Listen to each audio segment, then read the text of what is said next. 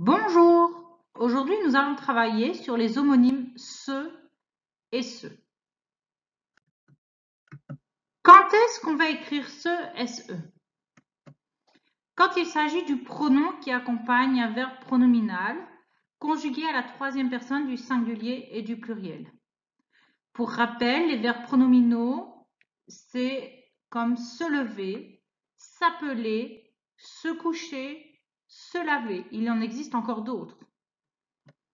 Si je remplace le sujet par je, ce devient me. Je vais écrire CE quand il s'agit du déterminant démonstratif qui accompagne un nom commun. Je peux encadrer le nom par ce, blablabla, bla, bla, là, ou bien je peux remplacer le nom par un nom féminin et je regarde si je peux mettre 7.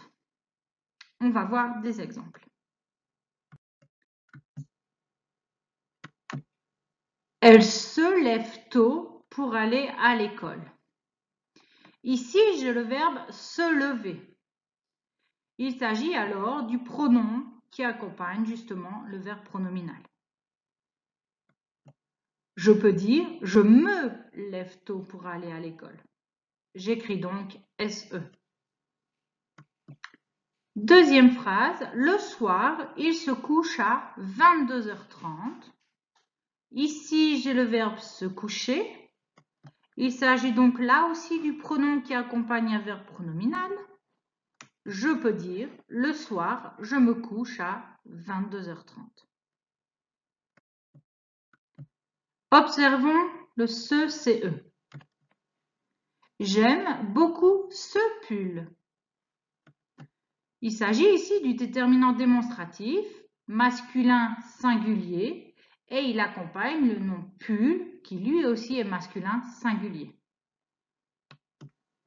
Je peux dire j'aime beaucoup ce pull là.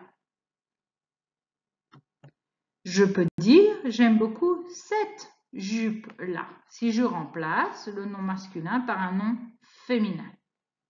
J'écris donc CE. Attention, dans il s'appelle Nicolas, je m'aperçois que le se devient S. Pourquoi? Parce que devant une voyelle, le se devient S c'est la règle de l'apostrophe comme dans les autres mots. Dans C'est une école pour les filles, là aussi le C est devenu C. Pourquoi? Parce que devant et ou était, le se devient C. De nouveau, règle de l'apostrophe. La règle est simple. On écrit SE Lorsqu'il s'agit du pronom, il accompagne alors un verbe pronominal. Je peux remplacer ce par me. On écrit ce, CE, lorsqu'il s'agit d'un déterminant démonstratif.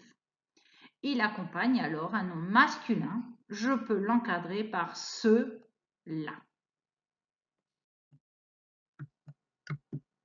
Ce peut aussi s'employer comme pronom devant le verbe être, par exemple, ce sera toi le gagnant. Ici, j'ai le verbe sera. Il s'agit du verbe être conjugué à la troisième personne du singulier au futur simple. Ou bien devant que ou qui. Ce qui, ce que, qu'est-ce que. Ce qui nous sert à poser une question très régulièrement. Maintenant, c'est à toi. N'hésite pas à regarder une seconde fois cette vidéo si tu n'as pas tout compris. Bon travail